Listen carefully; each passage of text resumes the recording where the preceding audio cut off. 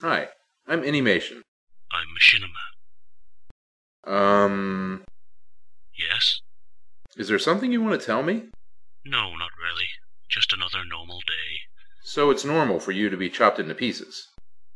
It's called modding, you dolt. It looks painful.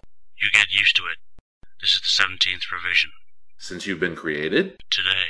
Ouch. You can't tell me your user never mods you. I don't get chopped into pieces. Sometimes he just Just? changes my head. Oh, sure. That's not painful at all. It's refreshing, actually. I can look older, or younger, or. Oh, thank you. Oh, thank you very much. Or what was I saying? Um, did you just get changed into a girl? It was a mistake. It's very disturbing. Look who's talking. What is that, a unicorn?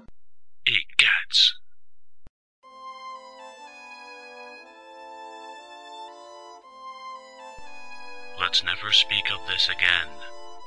Agreed.